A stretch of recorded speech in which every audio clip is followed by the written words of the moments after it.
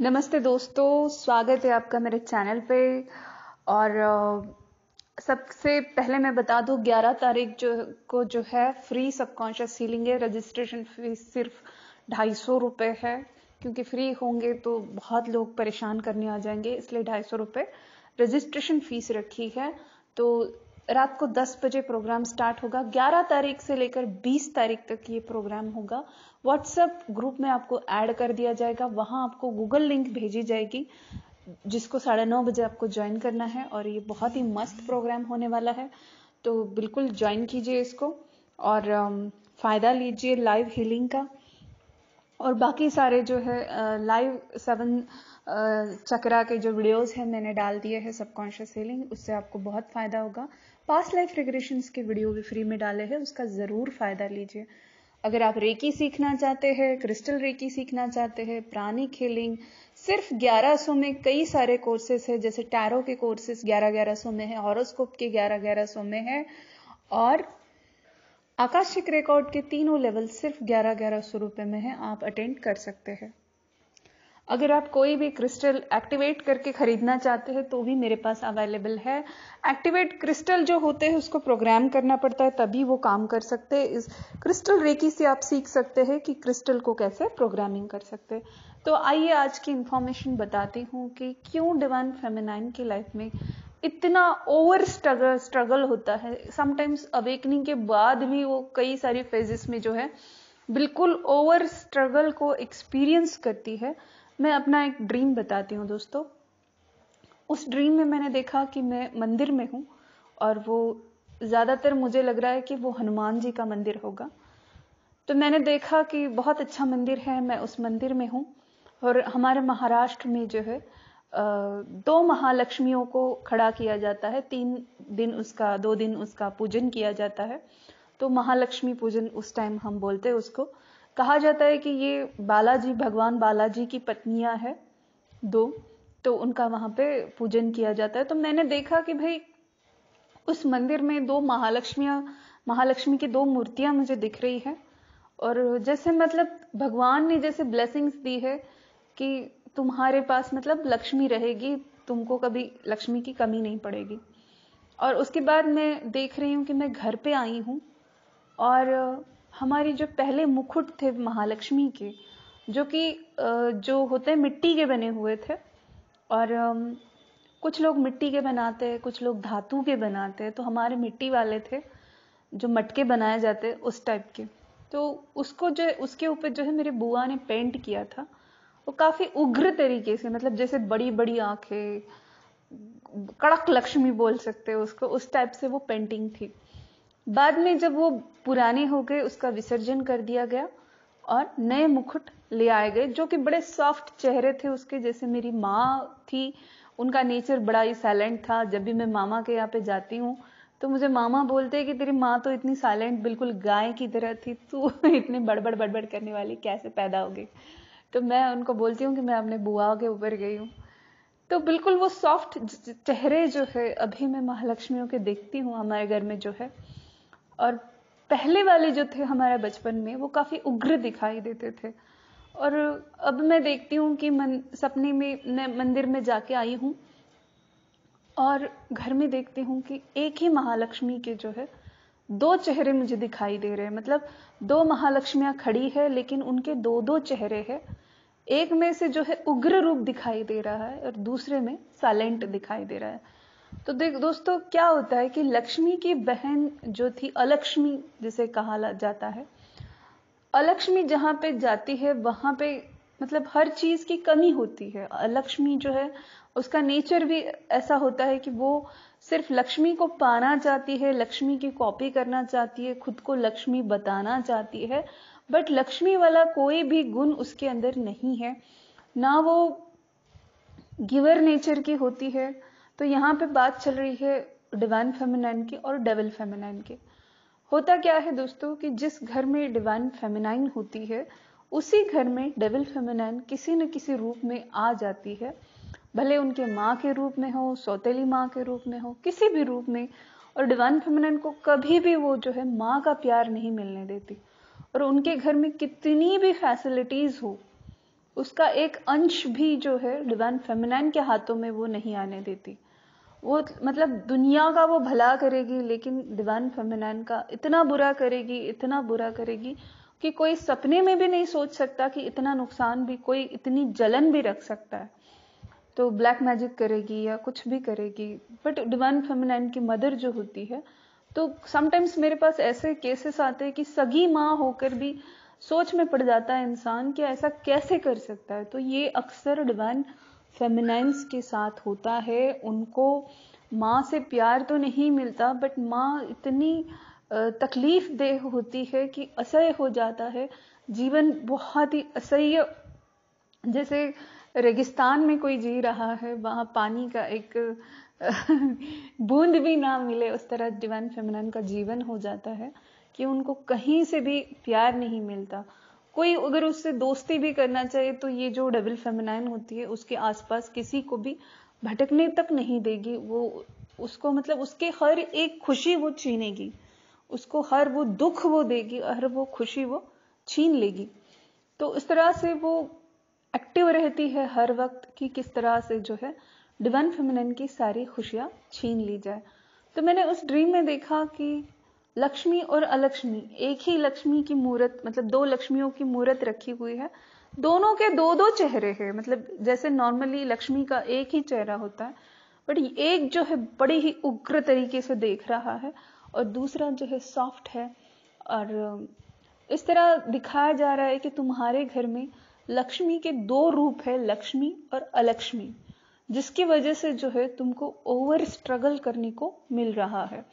तो मैंने उसमें देखा कि मैं इतना भाग रही हूँ, इतना भाग रही हूँ रेकी सिखाने के लिए। मैं कहीं से रेकी सीख के आई हूँ और जैसे मेरे ज्ञान की गठड़ी जो है रस्ते पे मैं रख रही हूँ, मैं बोझ नहीं उठा पा रही हूँ और जब मैं थोड़ी देर के लिए वहाँ रखती हूँ फिर से उसको लेने के लिए जाती हूँ। मतलब मैं उस टाइम पे मैं देख रही थी कि मैं ओवर स्ट्रगल कर रही हूँ। इतना स्ट्रगल कर रही हूँ कि मैं टैरो भी सिखा रही हूँ, मैं रेकी भी सिखा रही हूँ, मैं हॉरोस्कोप भी सिखा रही हूँ। भले मेरे, मुझे तो ऐसा हुआ कि मेरे टैरो में बहुत कम स्टूडेंट थे, फिर भी मैंने सोचा कि इनको अटेंड करना है। तो इस तरह से एक भी स्टूडेंट कहीं से मुझे मिल जाए, मैं उनको अटेंड कर रही हूँ। भले ही थोड़ा सा आगे पीछे हो जाए, लेकिन मैं उनको जो है अच्छे से अटेंड करने की कोशिश करती हूँ। तो मतलब इतना स्ट्रगल इतना स्ट्रगल कि कहीं से कोई हेल्प नहीं। जैसे मान लो कोई बाई लगाई हो तो बर्तन मारने को दो दिन में चली जाएगी। मुझे एहसास हुआ कि जो मैंने खाना पकाने के लिए लेडी लगाई थी तो अपने हाथों जैसा खाना बिल्कुल भी बनाया नहीं जा सकता। और मुझे लगा कि आगे जाके तो मैं बुढ़ी हो जाऊँगी, मुझे किसी और के हाथ का ही खाना पड़ेगा। लेकिन अभी से अगर मैं ऐसा खाना खाऊँगी तो मतलब ऐसा खाना कोई कैसे खा सकता है? तो मुझे एहसास हुआ कि भगवान ने जो हाथ दिए है, उसका यूज़ करना चाहिए। और शुगर थोड़ी डिटेक्ट हुई है तो कहीं ना कहीं भगवान ने मुझे बिल्कुल लाइन पे लगाया है कि मैं बिल्कुल चावल ही चावल खाए जा रही थी। तो अब खुद के लिए रोटियाँ बनाओ। और जब खाना पकाने वाली की रोटियाँ मैंने खाई तो मुझे वो हजम नहीं हुई। तो मुझे समझ में आया कि मैं कितनी सुंदर रोटियाँ बनाती हूँ और मुझे बनाना चाहिए खुद के लिए, खुद को पैम्पर करना चाहिए, खिलाना चाहिए। जो मैं वॉकिंग नहीं कर रही थी, प्राणायाम नहीं कर रही थी तो एक किक मारा है नेचर ने। तो मुझे ऐसा लग रहा है कि ये शुगर नहीं है, ये वरदान है मेरे लिए। अब मैं एक्टिव हो गई हूँ, मैं रोटियाँ बना रही हूँ, मैं प्राणायाम कर रही हूँ, मैं वॉकिंग कर रही हूँ। कहीं ना कहीं मुझे जो मैं नहीं कर पा रही थी सीरियसनेस नहीं था, वो मुझे सीरियसनेस शुगर ने दिलाया है, जो डायबिटीज़ डिटेक्ट हुई है। और कहीं ना कहीं एक नया सोल पर्पस भी दिया है कि मैं अब डायबिटीज़ पे भी सबकॉन्शियस हीलिंग लोगों की करना चाहूँगी। तो जो ब्लेसिंग्स मेरे भी काम आ जाए। तो इस तरह से मैंने देखा कि मैं इतना स्ट्रगल कर रही हूँ, इतना स्ट्रगल कर रही हूँ, और मैं भाग रही हूँ, बस भाग रही हूँ कि कैसे भी हो मेरा मनी ब्लॉकेज हील होना चाहिए। इसलिए मैं इतना भाग रही हूँ इतना भाग रही हूँ ऐसा मैंने ड्रीम में देखा। और मैंने देखा कि भागते भागते मैं ट्रेन के नीचे आ गई। और मेरा मैंने अब सोचा कि मेरे जो पाँव है राइट पैर उसके ऊपर से अब ट्रेन जाने वाली है और, और वो ट्रेन चली भी जाती है। बट आश्चर्य की बात है कि मेरे ऊपर से ट्रेन चली गई और फिर भी मेरा पैर कटा नहीं। तो कहीं ना कहीं लक्ष्मी की ब्लेसिंग्स है कि ये अलक्ष्मी जो है, अलक्ष्मी की ऊर्जा जो है वाइब्रेशन जो है, ये आपका पूरा गुड लक छीनना चाहती है। क्योंकि जहाँ पर आप देखोगे कि जहाँ पे डिवाइन फेमिनाइन होती है, उसी घर में, किसी न किसी रूप में डेवल फेमिनाइन आ जाती है ताकि वो उसकी एनर्जी को सक कर सके। वो एक एनर्जी वैम्पायर होती है, वो हर तरह से डिवाइन फेमिनाइन को मतलब डिवाइन फेमिनाइन उसके सामने आते ही पागल हो सकती है, उनका मानसिक संतुलन बिगड़ सकता है और उनका बचपन ऐसे ही रहता है कि जैसे मानसिक संतुलन बिगड़ा हो किसी का। क्योंकि वो इस तरह से वो ट्रिगर करती है, इस तरह से आप देखोगे कि आप उनके सामने, उनकी नज़र में नज़र आप मिलाओगे, तुरंत आप फिजिकली मेंटली हर लेवल पर वीक हो जाओगे। इवन डिवाइन फेमिनाइन के फादर को भी ये लेडी जो है बहुत गंदे तरीके से परेशान करती है, जिनकी वजह से हो सकता है डिवाइन फेमिनाइन के फादर ड्रिंक करने लग जाए, या वो सारा गुस्सा जो है, अब देखोगे ऐसे फादर जो है बड़े ही डेडिकेटेड रहेंगे अपनी वाइफ के लिए, बट अनकंडीशनल लव उनको कहीं से भी नहीं मिलेगा। उनका मतलब पूरा पैसा सक कर लिया जाएगा, पूरी तरीके से जो है अपने मैके वालों के लिए एक तरह से कह सकते हैं कि पूरा मैका इनके ऊपर जिएगा। इनको मतलब खून चूसता है ना, मच्छर जैसे चूसता है।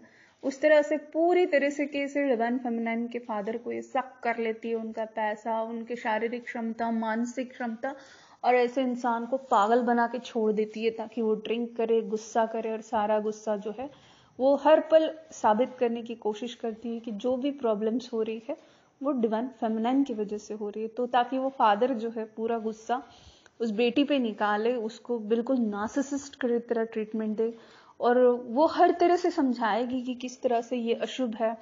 घर के सारे सदस्यों को के मन में ये जहर भरेगी, रिश्तेदारों के मन में जहर भरेगी। रिलेटिव्स के मन में जहर भरेगी, पड़ोसियों के मन में जहर भरेगी इवन डिवाइन फेमिनाइन के अगर कोई फ्रेंड्स हो तो उन्हें भी ये फ़ोन करेगी कांटेक्ट करेगी और उनके मन में ऐसा जहर भरेगी उनके सबकॉन्शियस में, सबके सबकॉन्शियस में। ये मतलब सबके पास दिमाग होता है, लेकिन ये जब बोलती है तो सबके सबकॉन्शियस में इस तरह से वो बात बैठ जाती है कि लोग अपना दिमाग यूज़ करना बंद कर देते हैं। सबकॉन्शियस माइंड को ये बिल्कुल कॉर्ड डाल के इस तरह से एनर्जी खींच लेती है कि सामने वाला बिल्कुल लो एनर्जी में आ जाता है और इनकी बात मानने लग जाता है। एक तरह से ये जो है, हॉन्ट पैदा करती है ये कि मेरी बात सबने माननी ही चाहिए। और ये ऐसा बिहेव करेगी कि ये साक्षात माँ लक्ष्मी का रूप है। जबकि आप देखोगे कि इनके मैके में जो है, लोग जो है खाने के लिए तरस जाएँगे। वहाँ पे बीमारियाँ होंगी, वहाँ पे शादियाँ टूटेंगी। वहाँ पे मतलब बुरे से बुरी चीज़, वहाँ पे एंसेस्टर दोष तो इतने भयंकर होंगे कि मतलब जिस घर में ये पैदा होगी, उस घर में दोष ही दोष होंगे। उस घर में कभी लक्ष्मी नहीं होगी, उस घर में किसी की शादियाँ नहीं होगी। हो गई तो वो टिकेगी नहीं। अकाल मृत्यु की संभावना उस घर में हमेशा रहेगी। मतलब कोई ना कोई अचानक से मर जाएगा। मतलब बुरी से बुरी चीज़ें कि लोग जो है खाने के, दाने के लिए तक तरस जाए। इस तरह से जहाँ ये जन्म लेती है डेविल फेमिनाइन का है, अलक्ष्मी का है, वहाँ पे ये साइन मिलते हैं। तो जब डिवाइन फेमिनाइन ग्रोथ करने लग जाती है, अपना इनर वर्क करने लग जाती है, वो देखती है कि वो इतने एडवांस तरीके से काम कर रही है, वो अपनी जी जान लगा रही है। मैंने देखा कि मैं ड्रीम में इतना भाग रही हूँ, इतने कष्ट कर रही हूँ, इतने मेहनत कर रही हूँ, लेकिन मुझे रिज़ल्ट उतने नहीं मिल रहे जितने मिलने चाहिए। भगवान ने तो पूरी ब्लेसिंग्स दे रखी है। मैंने देखा कि भगवान के मंदिर में तो महालक्ष्मियाँ है और वो मुझे ब्लेसिंग्स दे रही है। तो मेरे पास तो लक्ष्मी है। तो ऐसा क्या हो रहा है कि जिसकी वजह से संपूर्ण अबेंडेंस नहीं मिल रही है? तो घर में जो अलक्ष्मी का वास होता है, जिसकी वजह से हर बुरी चीज़ उस घर में होने लगती है, फिर वो ब्लैक मैजिक कहिए रिलेटिव्स के मन में निगेटिविटी पैदा करने, हर एक इंसान इवन आप देखोगे कि डिवाइन फेमिनाइंस की जो शादीशुदा बहनें होगी, उनके ससुराल में भी इस तरह से उनको ब्रेन वॉश किया जाएगा, इस तरह से उनके माइंड में कॉड डाली जाएगी और उनको बताया जाएगा कि ये जो है बड़ा अशुभ है, ये किसी का अच्छा नहीं देख सकती, ये ब्लैक मैजिक करती है। उल्टे आरोप ओके डिवाइन फेमिनाइन की जो स्पिरिचुअल पावर्स है उनको हमेशा गलत ठहराने की कोशिश की जाती है। मान लो वो रेकी सीखती है, क्योंकि वो डिवाइन फेमिनाइन का सोल पर्पज ही होता है ट्विन फ्लेम्स का, कि आम लोगों को किस तरह से कुंडली अवेकनिंग करनी चाहिए, इसके लिए प्रोत्साहन दिया जाए, अपनी एनर्जी को ऊपर उठाने के लिए प्रोत्साहन दिया जाए।